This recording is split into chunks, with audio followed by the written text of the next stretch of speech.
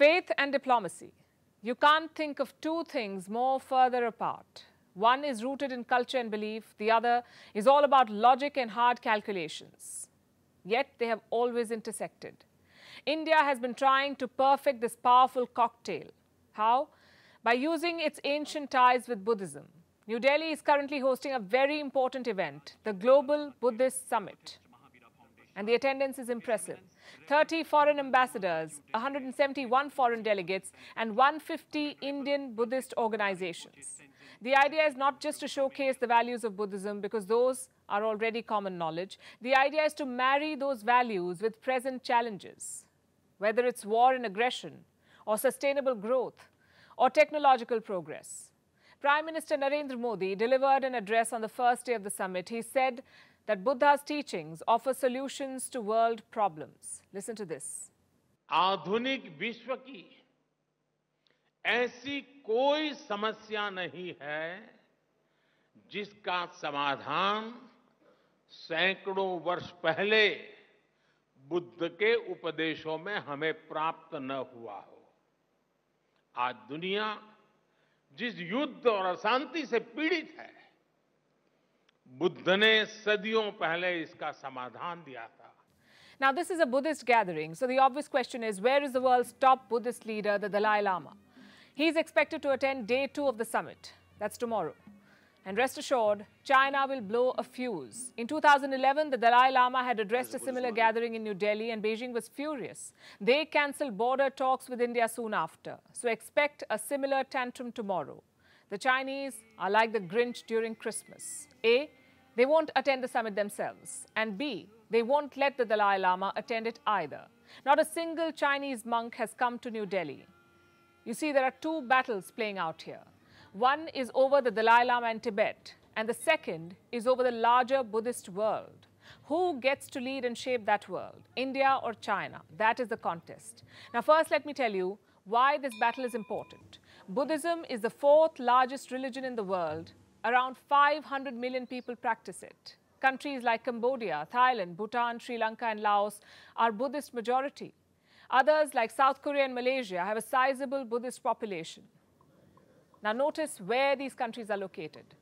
Southeast and Eastern Asia, the same region that China wants to dominate. It tells you why a communist atheist regime like China suddenly loves Buddhism.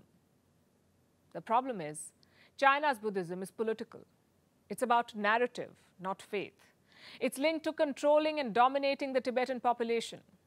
Hence the problem with the Dalai Lama and by extension the problem with India. For Beijing, Buddhism is the means to an end. And that end is appointing its own successor to the Dalai Lama. What about India? For New Delhi, the Dalai Lama isn't just a religious leader, he's also a strategic leverage. In 2011, the Dalai Lama was invited to speak despite protests from China. Same in 2023, the Dalai Lama has been invited despite the expected blowback. India, and that's one part of India's calculations, but the second one is equally important. Yes, the Buddha was born in modern day Nepal, but he lived most of his life in India. His first sermon was in India, his enlightenment, even his final days. And that's something New Delhi can capitalize on. Basically, brand itself as the cradle and home of Buddhism. How do you do that? By boosting religious tourism, exchanging scholars and students, investing in Buddhist organizations abroad. In a nutshell, do what China can't do generate goodwill.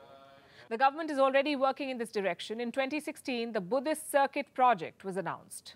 It follows the path of the Buddha, starts off in Lumbini, heads to Bodh Gaya and Bihar, then Sarnath, Kushinagar, and so on. 21 states are covered in this circuit. It already has four international airports and two domestic ones. The next step, of course, is to market it, to make it known to the Buddhist world, to get millions of Buddhists to visit India, because nothing influences policies like people. Our world order is undergoing big changes, and they're not necessarily for the better. Our world is becoming more dangerous. Two powers are in a race, the United States and China, and they're ramping up their weapon stockpiles. They're arming themselves with more dangerous weapons and more nuclear weapons. We are entering a new strategic era, one that will be defined by the great, this great power contest. the risk of conflict is higher than ever before. I'll show you how, and we'll start with China. The PLA is eyeing a new weapon, a drone. It will be used to snoop on rivals. The Chinese military is amassing all kinds of spying tools these days. First the balloons, then a base in the Antarctic, we told you about it yesterday, and now the drones. The Americans say they pose a threat. They ordered a secret military assessment. China's new drones will fly at supersonic speeds, they say, at least three times the speed of sound. The drones have more capabilities, including a cutting-edge surveillance system. This will relay real-time data. How can this help the PLA? Such capabilities can be the difference between victory and defeat in war. Using this data, the PLA's generals can make real-time decisions. They can order missile strikes and strike with precision. Reports say the PLA has already established a unit for this drone, the supersonic drone. It falls under their Eastern Theater Command. And where will China deploy these supersonic drones? Taiwan is a clear target. These drones can help China target American warships around Taiwan, even the military bases in the region. So drones are a clear worry. But there's a bigger threat, and that is nuclear weapons. China wants more nukes, and it wants them fast. Xi Jinping seems determined. He wants to close the gap with America. So he's ordered an expansion plan. China has about 410 nuclear warheads today. By the end of this decade, this number could grow to 1,000 warheads. And by 2035, China could end up with 1,500 nukes. This will bring them close to America's stockpile. How many nuclear weapons does the US have? In 2021, it had around 3,750 nuclear weapons, nuclear warheads. These include both active and inactive warheads. China wants to catch up for obvious reasons. It wants to use these nuclear weapons as deterrence to keep America away from Taiwan and it's speeding up the production of these weapons. It is now building a new reactor in Fujian. This reactor will deliver plutonium. What's plutonium? A radioactive chemical used to make atom bombs. So China has conveyed its intentions. It has started a new nuclear race, and the US plans to not be left behind. It has plans to modernize its nuclear arsenal. Washington will spend $2 trillion on this, $2 trillion on nuclear weapons. This money will not be spent in one go. The US plans to spend $2 trillion over 30 years to completely upgrade their nuclear triad. What's a nuclear triad? It basically means the ability to launch nuclear strikes from land, sea, and air. That's a triad. America can do all three. And now it is upgrading these weapons. It is responding to a two front challenge the threat from China and the threat from Russia because Russia too rem remains a player. Russia too is developing new nuclear systems.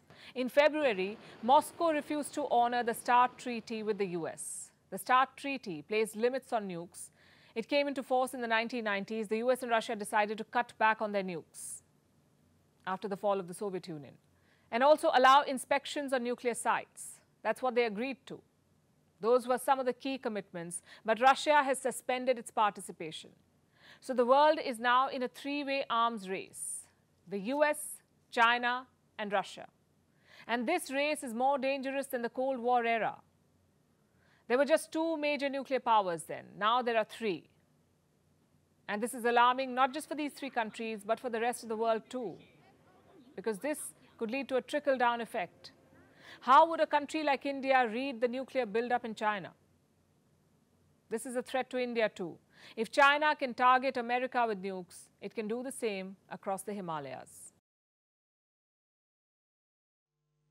Now let's turn our attention to Russian President Vladimir Putin. He visited the front lines this week, parts of eastern Ukraine that Russia has taken over.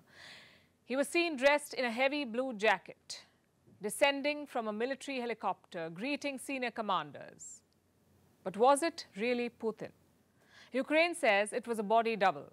And frankly, this debate is not new. Putin has been at the center of such speculation for a while now. People analyze his ears, his wrinkles, his fingers, and conspiracy theories flood the internet. But then again, Putin is not the only one. Many leaders have been accused of using political decoys. They're individuals with strong physical resemblance to the person they impersonate. Who are these leaders and why do they need a body double? Here's a report. Russian President Vladimir Putin visited the war zone in Ukraine this week. It was his second trip since the war in Ukraine began. So it's a big deal. But for Kiev, something else is even bigger. They say Putin was never in Ukraine because he was using a body double. And this only renewed such conspiratorial claims because this debate is not new. In fact, only last month, Putin's body double was rumored to appear. Reports say he has an entire team of them. And such claims of Putin using body doubles have surely increased, especially since last February. That's when the war in Ukraine began. But he's not the only leader who's said to have used body doubles. In February, Ukrainian President Vladimir Zelensky was accused too. Apparently, he used a double while meeting US President Joe Biden, who, by the way, has been accused of this too. People claim he used one while receiving a COVID vaccine. So, according to rumors, many leaders use political decoys. The list is long. It includes North Korea's Kim Jong un, USSR leader Joseph Stalin, the late Queen of Britain, Queen Elizabeth, and even the late Iraqi leader Saddam Hussein. And these conspiracy theories only get wilder. Reports say the political decoys often use plastic surgery. But some things can still give them away. For starters, the height, then gestures and body language, because they are unique for every person. And then, earlobes. Yes, ears are a good identifier. Here's a fun fact. Since the 1950s, ear measurements have been used by forensic scientists. They can help in identifying suspects of crime. And today, ears have become an even bigger identifier than fingerprints. So experts are now comparing Putin's earlobes across the years. But it's not confirmed if Putin ever used a decoy. Some others haven't been so lucky. Like the former US Secretary of State Henry Kissinger, his political aide said that Kissinger used an impersonator. For most cases, there is no real proof. However, speculation on the matter seems irresistible. These theories continue to enthrall the masses. They correlate with rumors of leader illnesses. Some even say leaders use body doubles to escape capture, like Osama bin Laden and Hitler. But these rumors continue with little to back them up. That being said, it's unclear if body doubles will even be useful in the future. Because this is a time when young ABBA appeared on stage in a holographic avatar. And during an election rally in France last year, Jean Luc Mélenchon appeared in 11 cities simultaneously, again through a hologram. So technology is clearly moving on. For aspiring Putin doubles, their career prospects may be limited.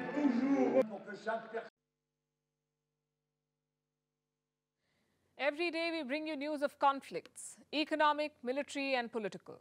Why do they matter? Because they impact our lives. Also because they appear more dramatic and more urgent. Would you put a heat wave in the same category? Because we have. A deadly heat wave is silently killing lives and livelihoods and impacting more people than we care to acknowledge. The numbers are scary. Almost half of India's workers work outdoors. They are at risk. The loss in GDP is monumental. Even Nepal and China are reporting temperatures above 40 degrees. People are dying. This is not a weather story anymore. It is hurting your health. It is hurting your body and the economy of your country. If you're watching us from Asia, you already know what I'm talking about. Look at this map. From India to Bangladesh, Thailand, even Eastern China, they're all red. In most of these cases, temperatures are shooting above 40 degrees. Records are being broken, and India is among the worst affected. Over 90% of India is experiencing a severe heat wave. And we are only in the month of April. The worst may be yet to come. But already people are dying because of the heat. Many cities are reporting record temperatures. This week, India's meteorological department issued a heat wave alert.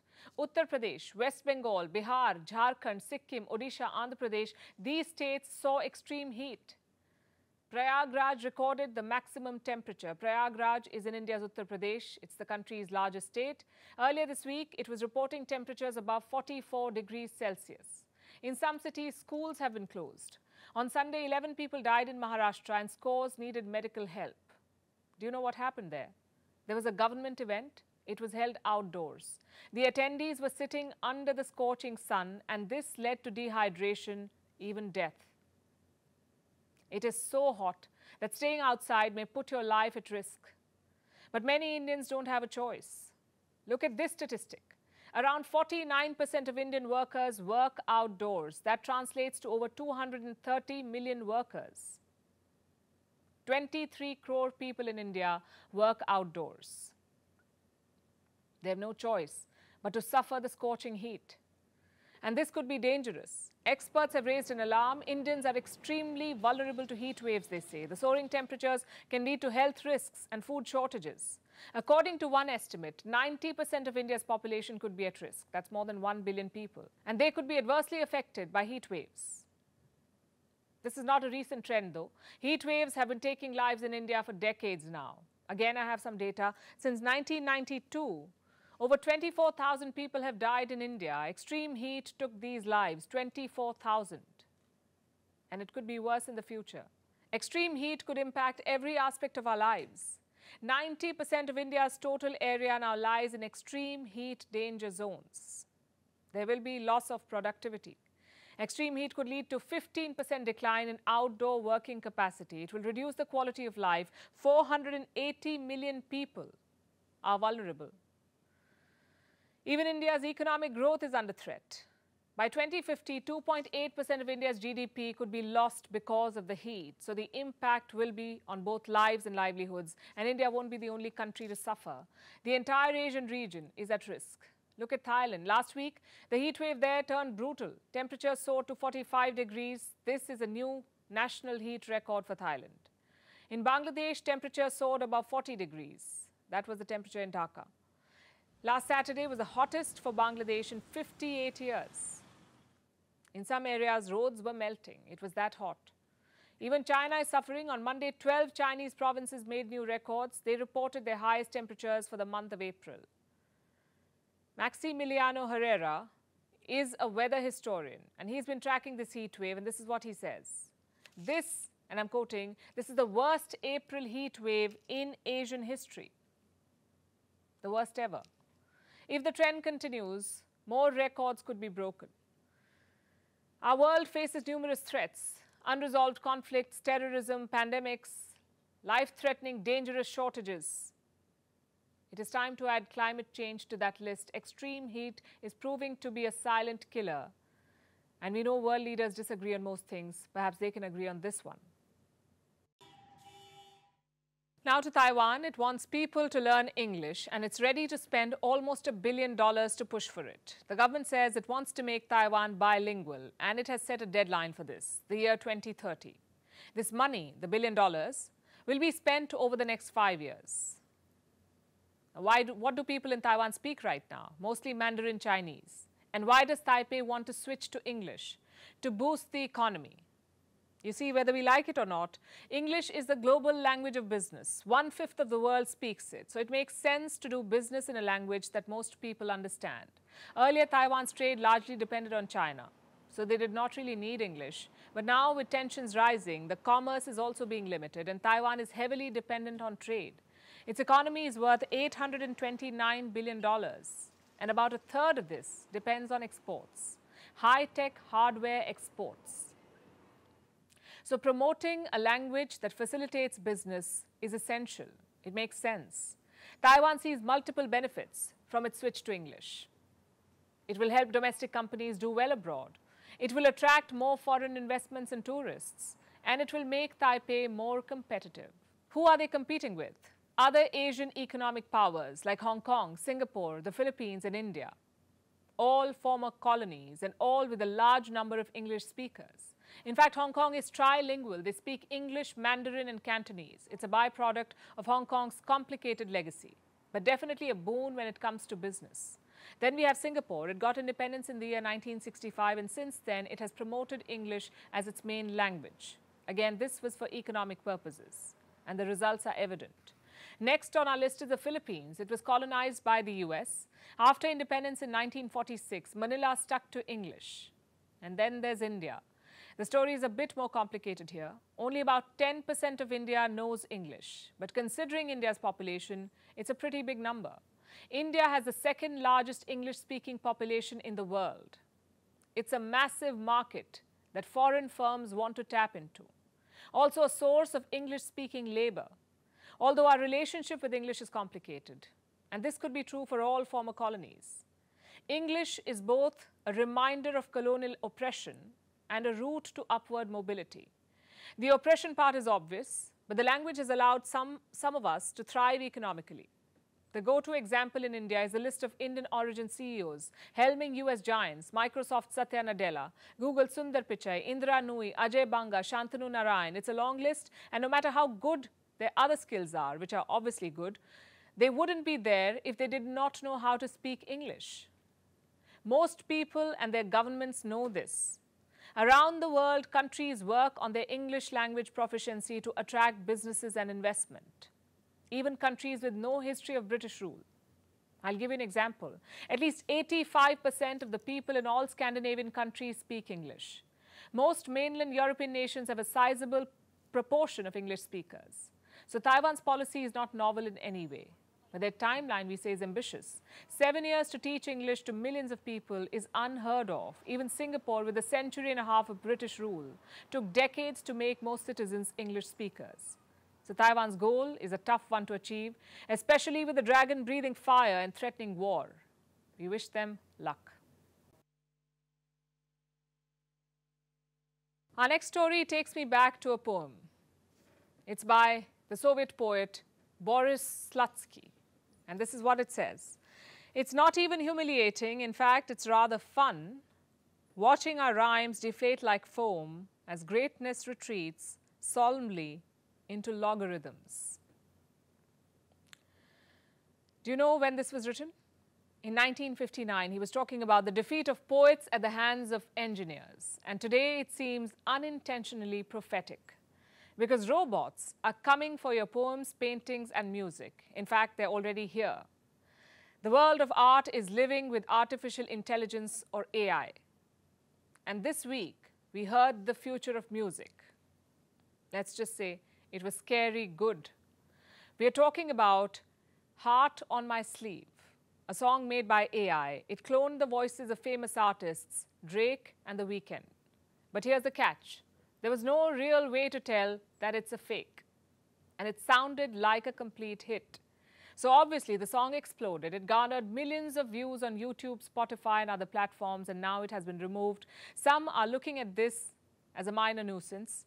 Others call it harmless mimicry. But for most of us, it points to something more serious. Is AI the harbinger of headaches for the world of music? And also for art in general?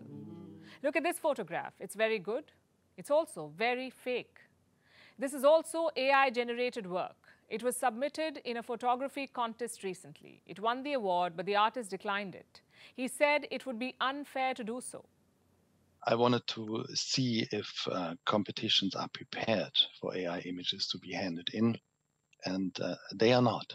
It's very um, important that they are aware that um, there will be more and more AI generated images in photo competitions, and it should not be mixed up. But let alone competitions, is the world prepared for AI in art? We are currently at an inflection point. Names like ChatGPT, Bard, and Midjourney come to mind. And they have come a long way. It's not just about nerdish fascination anymore. Common people like you and me are using these AI tools. They're creeping into our lives and flooding the internet. Remember when Jay-Z rapped Shakespeare? Or when the Pope was seen wearing a Balenciaga puffer jacket? This is creative and it's good humor, but it's also scary because our fear remains the same. Can AI do a better job than the artists it is imitating? It churns out art faster and its tech is improving. Soon, differences between real and AI generated art could become indistinguishable. Experts say using AI is a violation of an artist's creativity and personhood. Lazy artists may use AI, and it may even infringe upon livelihoods. So we will say what we've always said. Even if creativity must not be curtailed, AI needs more guardrails in place.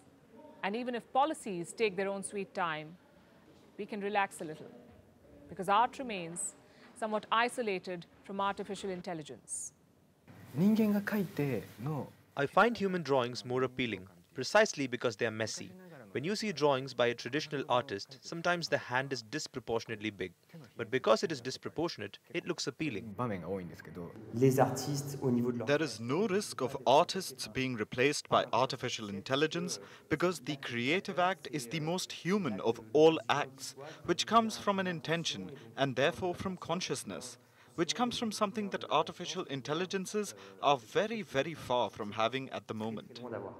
Think about it. The enjoyment of art is reliant on humanity. We don't love music because it is a digitized accumulation of chords and lyrics. We love it because it comes from a human being. It is inspired by their experiences, their ideas. Like when Rihanna's song said, Nobody texts me in a crisis, we felt that. Or when Taylor Swift sang about her relationships, a lot of people could relate because we connect with the artist. It's true that AI fakes today are merely a sideshow. There is much more to come. But AI will continue to be a sideshow in the real world of art. We say true genius will beat the algorithm every time. So we agree when, when Slutsky said, it's not even humiliating. In fact, it's rather fun.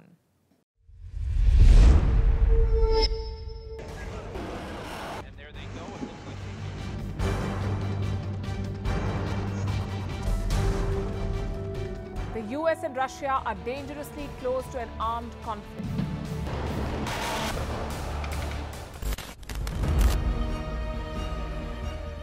This year, 2023, New Delhi will be the capital of global diplomacy. For a country as diverse as ours, with 88% of the population illiterate, it was a very big deal to write a constitution, and that too, the world's largest. Meanwhile, if we may, here's a Republic Day gift from India for the BBC. A list of suggestions for the BBC for their upcoming documentaries. Number one, the Kohinoor and the colonial loot. Number two, an outdated monarchy and unhealthy obsession with the royals. Number three, racism in 2023. We're waiting.